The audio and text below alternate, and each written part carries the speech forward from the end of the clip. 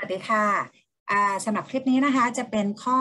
6 ถึงข้อ 10 นะคะ ซึ่งเป็นแบบฝึกหัดท้ายหน่วยของสสวทนะคะ ที่อยู่ในหน้า 68 ถึง 73 นั่นเองของม 2 เล่ม 2 เรื่องงานและพลังงานนะคะ เราไปเลยกันเลยดีกว่าค่ะ ข้อ 6 โอเคอะดูภาพไปด้วยกันก่อน เขาบอกว่ามีนักกีฬา 4 คนนะคะ เด็กๆ แข่งขันกันปีนเสา ในแนวดิ่งสูง 10 เมตร พอสูง 10 เมตรค่ะ มันก็คือตัวแปร s นั่นเองนะคะ s เท่ากับ 10 เมตรคุณจดไว้ก่อน ผลการปีนเสาของแต่ละคนเป็นไงคะเป็นไปตามตารางกำหนดให้มวล 1 กิโลกรัมมีน้ำหนัก 10 นิวตันโอเคเขาอยากรู้ว่านักกีฬาคนใดมีกำลังมากที่สุด ดังนั้นเดี๋ยวครูทำภาพเล็กหน่อย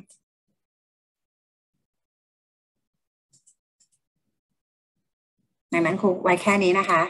อ่าเราได้ระยะทางแล้วว่าทุกคนระยะทางเท่ากันก็คือ 10 เมตรเนาะแล้วโจทย์อยากรู้อะไรนั่นเองคะอยากรู้ p เข้าสูตรอะไรนั่นเอง p เท่ากับ w ส่วน t หรือไม่ก็เท่ากับ fs ส่วน t ก็ได้อยู่ที่ว่าเรามีข้อมูลอะไร t นี่คือ t เล็กนะคะโอเคอ่าคราวนี้ไปดูด้วยกันค่ะ ดังนั้นดูวิธีการคำนวณของครูได้เลยค่ะคอนเซปต์นะคะอ่า ดูตารางก่อนมีนักนักกีฬาสี่คนหนึ่งสองสามสี่เขาก็เลยอยากรู้ว่าคนไหนเนี่ยออกกำลังมากที่สุด ไปดูอันแรกค่ะ มวลมวลก็เดี๋ยว f นะคะ เราจะหาได้จากมวลคูณด้วยสิบนั่นเอง ต่อไปค่ะ เวลาที่ใช้ก็คือตัวแปร t เล็ก ดังนั้นเรารู้ตรงนี้แล้ว เดี๋ยวเราจะได้จากตรงนี้ อ่า ต่อไป s ได้สิบเมตรอยู่แล้ว ต่อไป t t ได้จากอะไรนั่นเอง ตาราง ดังนั้นไปดูของคนแรกนะคะ ถ้าลูกคำนวณแบบคนแรกเป็นที่เหลือลูกจะง่ายเลย เราเข้าสูตรกำลังเท่ากับ fs ส่วน t แทน f คือ 65 แต่ว่า 65 หน่วยเป็นกิโลกรัมอย่างที่ผู้บ่งบอกต้องคูณอะไรด้วย คูณ 10 ก็เลยเป็นความหมายของ 10 ตัวนี้ ต่อไป 10 ตัวหลังคือตัวแปรระยะทางค่ะ คือ s โอเคไหมแล้วก็ส่วน t t เวลาเป็นวินาทีถูกต้องแล้วแทน28ได้เลย แล้วลูกเขาคำนวณออกมานะคะ จะได้ประมาณอันนี้เป็นทศนิยมค่ะ แต่ครูประมาณเป็นจำนวนเต็ม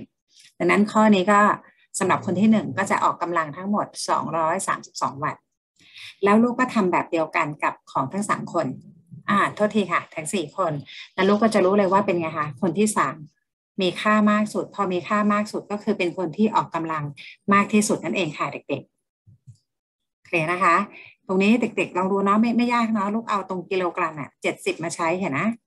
หกสิบแปดเอามาเติมหกสิบห้าเอามาเติม แล้วก็อะไรคะวินาทีของแต่ละคนลูกเห็นไหมอะคุกไล่คนที่สี่ก่อนลูกใช้ยี่ห้าเนาะคนที่สามลูกใช้ยี่ห้าวิ คนที่สองกับหนึ่งใช้ยี่แปดวินี่ไงนะคะดังนั้นข้อนี้ก็ตอบคนที่สามนั่นเองค่ะ ที่ออกกำลังมากที่สุด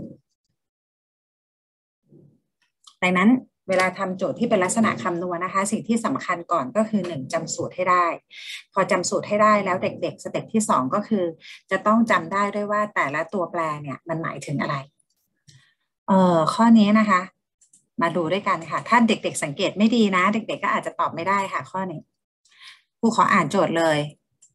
โจทย์เขาบอกว่าสถานการณ์ใดใช้หลักการเครื่องกลอย่างง่ายในการผ่อนแรงโอเคครูจดไว้ก่อน หาอันที่ผ่อนแรงค่ะ โจทย์ต้องการผ่อนแรงเพราะเดี๋ยวครูจะขยับแล้วภาพมันจะอาจจะขยับละโอเคอะตามนี้งั้นครูเปิดตรงนี้เลยนะ โอเค ดูไปด้วยกันค่ะ อันแรกก่อนครูบอกเลยว่าข้อกอไก่ เป็นรอกเดี่ยวตายตัว ตรงนี้ค่ะครูวงกลมให้ดู ตรงนี้ตรงนี้อ่านะคะ เป็นรอกเดี่ยวตายตัว ถ้าเด็กๆจำได้รอกเดี่ยวตายตัวจะไม่ผ่อนแรง ไม่ผ่อนดังนั้นกอไก่ไม่เอา ต่อไปข้อขอไข่ค่ะ เป็นเรื่องของคานค่ะลูกเห็นไหมตรงนี้คือจุดหมุนนะคะ จุดหมุน แล้วเด็กๆจำไว้ค่ะ เรื่องของคานจะผ่อนแรงก็ต่อเมื่อ ระยะที่เราออกแรงเนี่ย มันมากกว่าระยะที่เราที่เป็นแรงต้าน ดังนั้นลูกลองดูจากจากสีที่ครูใช้นะ ลูกเห็นไหมนี่คือระยะออกแรง แต่ตรงนี้เป็นระยะ อ่า เป็นแรงต้านระยะของแรงต้าน อ่า ลูกเห็นแล้วยังว่าตรงนี้มันเป็นไงคะ ระยะตรงนี้มันสั้นกว่า พอสั้นกว่าแบบนี้ค่ะ มันจะไม่ผ่อนแรงนะคะเคไหมดังนั้นถ้าจะผ่อนแรงก็หมายความว่าระยะนี้ต้องยาว ดังนั้นครูก็เลยให้บอกว่า ขอไข่อะ เราออกแรงตรงระยะออกแรงมันน้อยกว่าระยะของแรงต้าน จึงไม่ผ่อนแรง ต่อไปไปข้อคอควายค่ะ มันเป็นเรื่องของล้อและเพลาตรงนี้คือล้อ แล้วก็ตรงนี้คือเพลาโอเค ดังนั้นจริง ๆ แล้วข้อเนี้ยเขาเขาเขาเขาหลอกเรามา เขาต้องสลับที่กันค่ะ เวลาเขาสาว คนนี้ค่ะ เวลาสาว สายที่เขาสาวจะต้องอยู่ที่ล้อ แล้วก็ตัวถังจะต้องไปผูกอยู่กับเพลา จึงจะผ่อนแรง ดังนั้นพอเขาผูกสลับก็จะไม่ผ่อนแรงแล้วค่ะครูก็เลยให้คำเหตุผลว่าตามภาพเป็นการออกแรงที่เพลาซึ่งที่ถูกต้องอะจะต้องไปออกแรงที่ล้อค่ะเกียรติางต้องสลับกันระหว่างคนกับถังต้องสลับกัน ดังนั้นจะเป็นไงคะพอทำผิดตำแหน่งก็เลยไม่ผ่อนแรงนั่นเอง ต่อไปสุดท้ายผ่อนแรงค่ะ แล้วก็ตอบข้ององูและนี้แหละค่ะเด็ก ๆ มันเป็นหลักการของพื้นเอียง ลูกจำไว้เลยค่ะ พื้นเอียงยังไงก็ผ่อนแรงนั่นเอง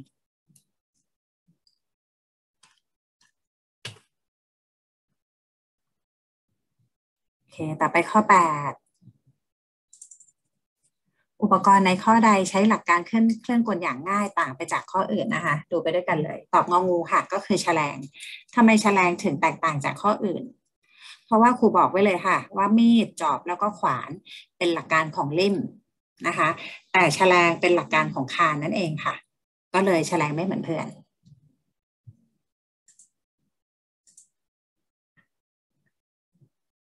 อไปข้อ 9 ค่ะ ข้อใดถูกต้องนะคะ เกี่ยวกับเครื่องกลอย่างง่าย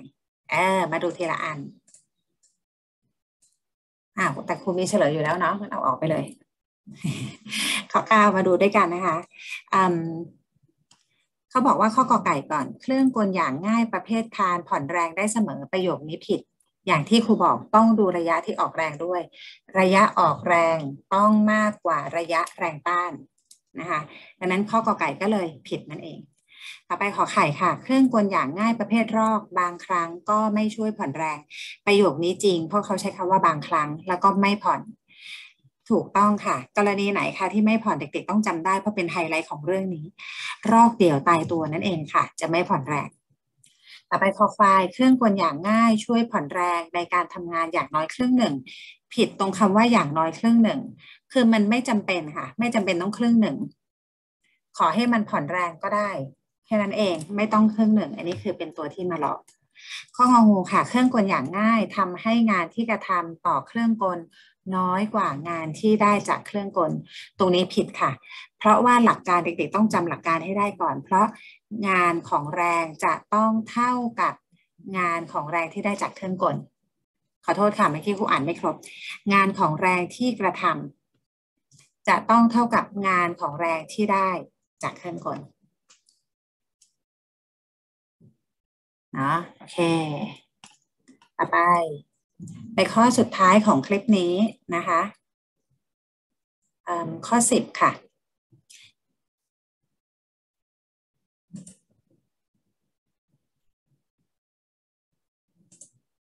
ในการโยนลูกบอลขึ้นในแนวดิ่งนะคะ เขาอยากรู้ว่าข้อความใดที่เป็นจริง โดยกำหนดให้ไม่มีแรงต้านอากาศกระทำต่อลูกบอลลองดูก่อนนะคะ ข้อกอไก่นะคะ เป็นข้อที่ถูกต้อง ซึ่งหมายความว่าคือข้อความที่สองนั่นเอง เราดูไปด้วยกันอย่างที่ครูบอกเนาะเราจะต้องศึกษาเอาให้เป็นมาก ๆ ประโยคที่หนึ่งค่ะขณะที่ลูกบอลเคลื่อนที่ขึ้น พลังงานจนและพลังงานสักน้มถ่วงของลูกบอลคงที่ผิดตรงคำว่าคงที่ค่ะทำไมถึงไม่คงที่เพราะพลังงานจนแล้วก็พลังงานสักน้มถ่วงจะเปลี่ยนแปลงตลอดเวลาค่ะ ตลอดการเคลื่อนที่เลย ต่อไปข้อสองค่ะ ผลรวมของพลังงานจน ผลรวมคือการบวก ของพลังงานจนกับพลังงานสักของลูกบอลจะมีค่าคงตัว ประโยคนี้ถูกต้องเพราะเป็นเป็นเพราะเป็นไปตามกฎการอนุรักษ์พลังงาน เด็กๆยังจำได้ไหมครูขอเขียนย่อนะสักบวกจน